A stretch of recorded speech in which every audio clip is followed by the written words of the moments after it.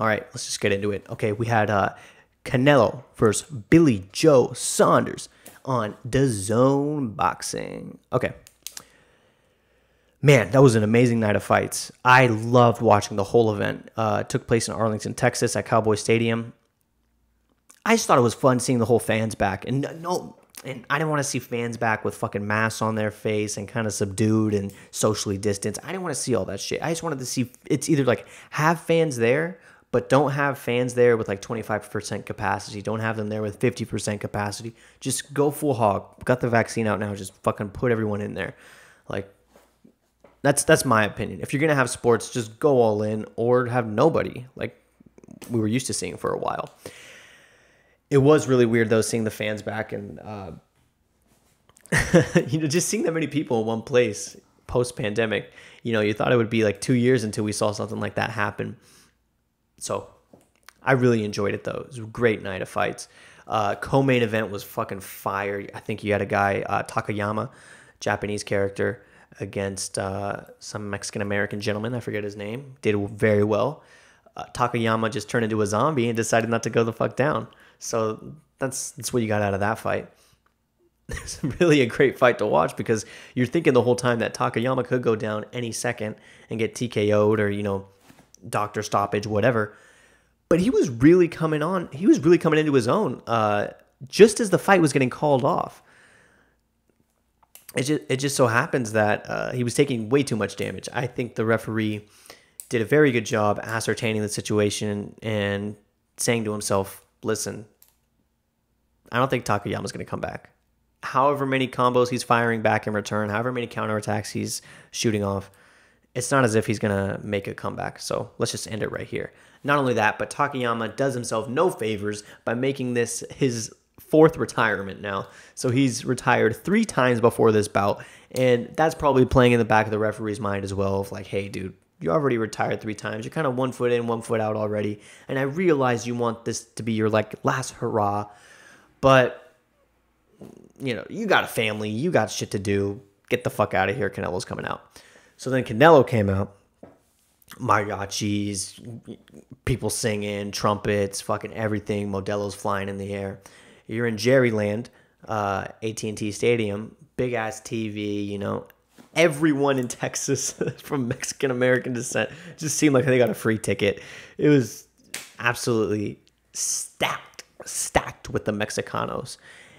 And watching that as a Mexican American, it was really interesting seeing how that specific ethnicity, the Mexicans, um, culture, whatever you want to say, I don't want to get too into it that specific culture has indelled itself so much in a boxing the boxing world that it's inseparable from the boxing world.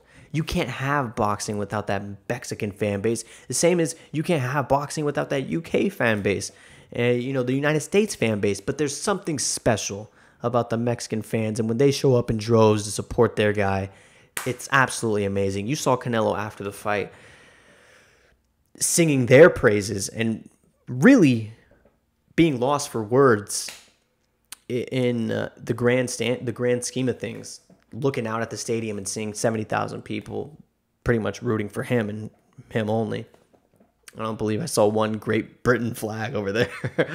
uh, so, in the actual fight, though, it was much closer than the end result uh, would have suggested. So you had uh, Canelo really filling out Billy Joe for the first one to three rounds. I would say very conservative, shelled up. Would offer a counterattack or two if he really seemed necessary. The big difference, even in those early rounds, even in er, rounds one to four, seemed to be that Canelo was the much better power puncher. That Billy Joe, even though he was able to catch him, wasn't going to offer him anything that was going to put Canelo on his ass. So there you go. And then uh, in the middle, in the middle of the rounds, so the round got stopped in the end of the eighth. But in the middle of the round, Billy Joe really came into his own and was putting on a great display of, uh, I would say, attacking boxing. He's really setting up that jab. Very strange angles he was getting himself in. His head was kind of ducked. And yeah, like I said, looping punches overall, though, I didn't think it was really troubling Canelo. I just think that when Canelo would let himself go, that's those are the instances when he would get caught. And Billy Joe being a southpaw and Canelo being an orthodox, it seemed like Canelo was very hesitant to let that right hand go, you know, the big overhand, because he was scared of getting caught by the left hook, left cross, whatever. And he was getting caught. Every time he would throw it, boom. Billy Joe did a great job reacting. Boom. And then in the seventh and eighth rounds, Canelo really picked it up, really picked up the pace. But because by the time it got to the middle of the eighth round and beyond, it looked like Canelo was, you know, ramping up the crowd, getting everyone on his side again, getting everyone hyped to see a finish, and it looked like he was going to get that finish. Like I said, he played a very conservative game plan throughout the whole flight, throughout the whole fight. Excuse me. Kind of shelled up, really not offering too much, not showing too much, too many of his weapons. And then when he smelled blood, man, he was just about to come after it. And that was the most exciting part to see. And I'm a little bit not disappointed by that stoppage, but I'm disappointed that it ended in such a way. I would have loved to see a finish. I think Billy Joe would have loved to see a finish, even if it was on him. You know, he would have loved to go out on his shield a little bit more, and I, you know, I feel for him too.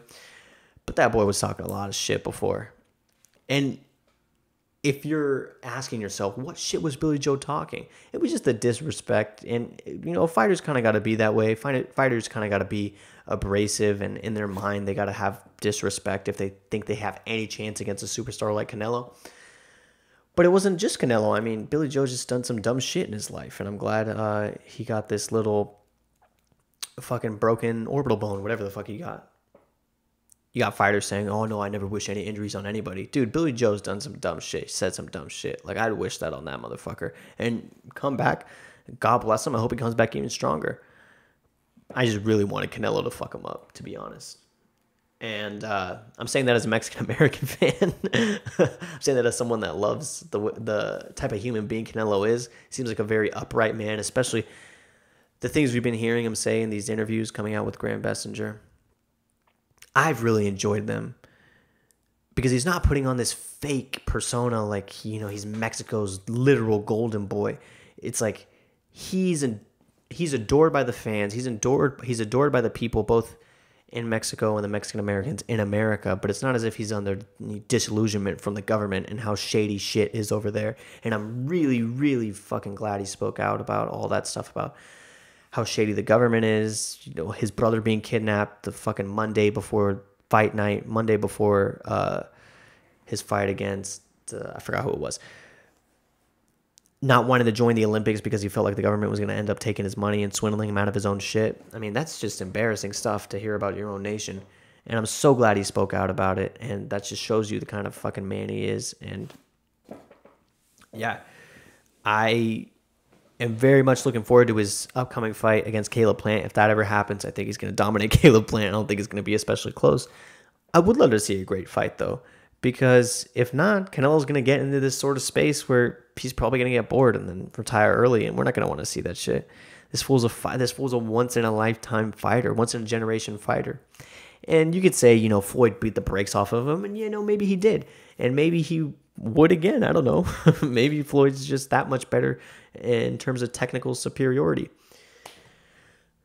Still, though, you got to respect how far Canelo's come since that loss, how many people he's beaten since that loss, how hungry he is to cement his legacy in the boxing world, not just the Mexican, you know, Mexican fighter hemisphere with Julio Cesar Chavez and Oscar De La Hoya and so many other great Mexican champions. He is a consummate professional. He is the definition of a fucking champion, and that's why I respect him even more is because he's not waiting for these big name, big Hollywood fights. He's doesn't seem as if he's one of those guys obsessed with the glitz and glamour of being a champion. He just wants to beat the best of the best, and that's a very scary man. When you get to that sort of mentality in a fighter where they're not even getting challenged and they feel like they have nothing to lose confronting everybody and challenging everybody, that's a very dangerous uh, mindset for a fighter to be in in a good way. I'm saying that that's he's he's he's he's so special, man, and I wish him nothing but the best. And it was awesome to see boxing, you know, get revived at least for one night. I hope it does again with Tyson Fury and hopefully Anthony Joshua. And I hope Tyson Fury breaks the fucking brakes off of him. uh, it's because I love me some boxing, man. There's nothing like a boxing main event. And even though I love my MMA, even though I fucking suck the teat of Dana White, sorry, Dana, it's still, it's got a long fucking way to go compared to the way a boxing main event looks. And I hope one day, the one day, hopefully soon, the UFC will go to Arlington, Texas, and they will have their own event. Uh, with an actual suitable main event. You know, I, I heard Nick Diaz saying he wants to he wanted to fight Masvidal last year at Cowboy Stadium, and I'm like, eh, dude. I mean, you could probably fill the stadium, but that's not going to be the best show for MMA. MMA that's going to need like a um, like a Conor versus somebody else. If Conor does well, and maybe have him fight for the title there, I would love to see that because it's UFC still kind of lacking that big night flavor like boxing can deliver on its biggest nights. Anyways, those are just my takes on it. And yeah, like I said, if you like the channel, follow, subscribe. I will post more sports content. I will maybe post more, you know, more moods podcasts where I talk about other more various uh, indiscriminate topics. But for right now, man, thanks for watching the channel. Thanks for all the love. Peace out.